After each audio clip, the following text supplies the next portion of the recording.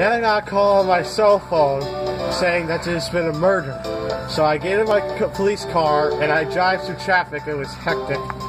And then I get to this crime scene and I find this, the person dead. Hmm. Could you elaborate on when you got to the crime scene? Somewhere around three or four. And um, were you the first detective on the crime scene? That was the third. Objection! You want a third. If my memory doesn't fail, which it never does, when I gave, when I cross-examined everybody else, they told me you were the first detective on the crime scene. How do you explain this inconsistency? See, I have a twin brother on the force.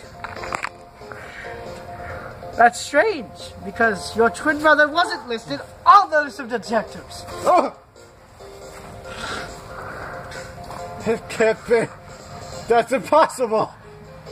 Well then, do you care to explain your inconsistency now? Okay. Unless, of course, you were already at the crime scene. Um, um, I was. I, Blueberry waffles! Calm down. Just tell me when you arrived on the crime scene. Okay, if, if you want to be specific, it was a 334. And you were the first detective at the scene, correct? Yes. And why did you presume you weren't the first detective on the scene?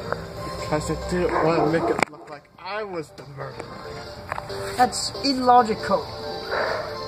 I don't know why you would say so. But please, re-elaborate your testimony. Tell me what happened when you got to the scene.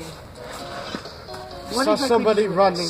Saw somebody running. Uh, I tried to chase after, but he got away in a fire escape.